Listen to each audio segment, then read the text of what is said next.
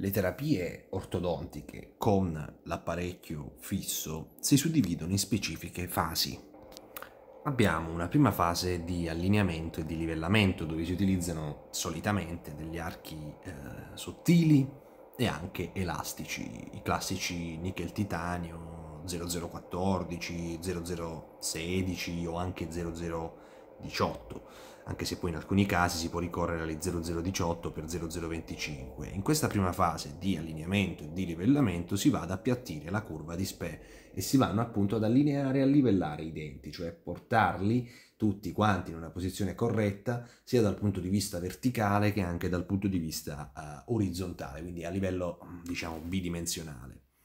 Poi c'è la fase invece di intercuspidazione e di rifinitura che avviene successivamente, dopo un po' di mesi ovviamente, in cui si vanno ad utilizzare dei fili più duri e meno elastici. Spesso si utilizza appunto l'acciaio, 16x22, 19x25, però questo diciamo tipo di filo si può usare solamente quando si è ottenuto prima un buon allineamento e un buon livellamento, appena avere effetti comunque sia collaterali e ovviamente quando arriviamo sui fili rettangolari sarà possibile inserire anse, sarà possibile applicare elastici, sarà possibile inserire il torque e così via. Se chiaramente c'è un deficit di spazio, bisognerà crearlo attraverso lo stripping e le molle compresse. Nei casi gravi, ahimè, seppur raramente, bisogna ricorrere alle estrazioni dentali. Una volta che lo spazio però è stato creato, i denti possono essere allineati con dei fili leggeri e flessibili. Nella fase di allineamento e di livellamento si va ad appiattire la curva di SPI e qui ovviamente si deve usare un tipo di filo più doppio rispetto a quello che si usa durante le primissime fasi dell'allineamento e eh, la eh, rigidità conferita dall'apparecchio consente in tal modo di regolare l'overbite, cioè la profondità del morso, l'overjet, cioè la protrusione anteriore e poi permette anche di chiudere eventuali spazi. Potranno anche essere poi eseguite eventuali eh, pieghe sui eh, fili, quindi specifiche anse, per ottenere specifici movimenti dentali. Potranno anche essere inseriti degli elastici per vari scopi, per eh, correggere la seconda classe o la terza, per effettuare estrusione e intrusione di determinati elementi dentali, per centrare le linee mediane o correggere un eventuale crossbite e così via. In alcuni casi si utilizzano degli attacchi preangolati con delle informazioni inserite nello uh, slot, cioè nelle uh, scanalature, come inclinazione e angolazione. In tal modo non sarà necessario modellare i fili. I sistemi preregolati, sebbene abbiano differenti limiti, presentano anche specifici vantaggi perché abbiamo il meccanismo di scorrimento per la chiusura degli spazi e quindi le informazioni presenti negli slot vanno praticamente a facilitare la chiusura degli spazi semplicemente facendo scorrere gli elementi dentali lungo il filo. È una meccanica semplice che richiede basse forze ma permette un buon controllo del torque incisivo.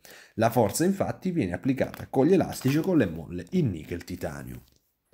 Uno però, eh, diciamo, degli svantaggi della tecnica del filo dritto è l'attrito che si viene a creare tra l'attacco e il filo mentre il dente scorre. La forza che si applica di fatti deve superare questo attrito prima che possa avvenire quello che è il movimento dentale e da qui nasce la preferenza da parte di molti odontoiatri di utilizzare tecniche low friction, cioè per esempio una tecnica di David Suarez che io utilizzo che è la cosiddetta tecnica straight wire low friction, cioè una tecnica a bassa frizione. Queste tecniche però sono più complesse perché eh, diciamo che prevedono una notevole modellazione nonché una notevole segmentazione del filo. In tale metodica è il ritorno elastico delle anse modellate sul filo a provocare il movimento dentale desiderato, senza lo scorrimento degli attacchi sul filo, quindi senza frizione. In ogni caso, in ambedue le tecniche, durante la correzione dell'overjet, spesso sarà necessario mantenere fermi ovviamente i denti posteriori, per esempio mentre si retrudono gli incisivi superiori di una classe seconda. Si dice quindi che si deve praticamente controllare l'ancoraggio. E di qui ci, ancor- ci ancoriamo appunto a- al concetto di eh, mezzi di ancoraggio e di gestione dell'ancoraggio che si può fare con elastici di seconda classe, con apparecchi ausiliari come la barra transpalatale e le trazioni extraorali, anche se queste ultime sono oramai cadute in disuso perché sono obsolete.